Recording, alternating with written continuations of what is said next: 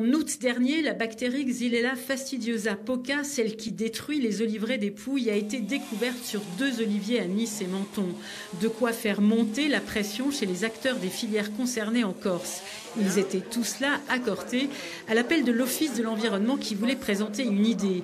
La collectivité de Corse pourrait profiter d'une modification très récente du Code de l'environnement pour établir son propre listing de plantes interdites à l'entrée de l'île à partir des nouvelles prérogatives qui sont données au, président de l'exécutif de Corse pour définir la liste des plantes entrantes sur notre territoire, nous avons souhaité mettre en place une commission pour pouvoir travailler euh, à, constituer bien sûr cette liste, mais aussi à définir une stratégie pour les années à venir.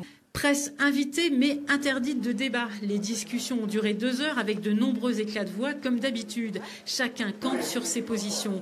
Les oléiculteurs veulent tout interdire. Les pépiniéristes redoutent le temps qu'il faudra pour cette nouvelle liste. Ils se reposent sur la mise en place prochaine du passeport phytosanitaire européen.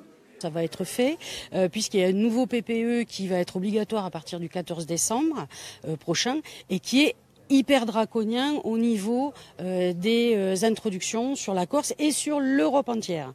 Donc euh, effectivement, il faut qu'on prenne des mesures pour essayer d'éviter l'introduction de la POCA et, qu'il faut, il faut surveiller les, les, végétaux, il faut faire au mieux pour qu'il n'y ait pas de propagation. À noter que l'État n'a pas la même lecture des nouveautés ouvertes par le Code de l'environnement. Et puis, autre fait remarquable, l'absence de tout organisme scientifique pour cette réunion. Thank you.